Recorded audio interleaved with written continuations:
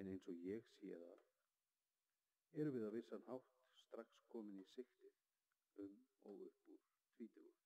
Við erum skotmark myrkursins og moldarinnar en áttum okkur misvel á því.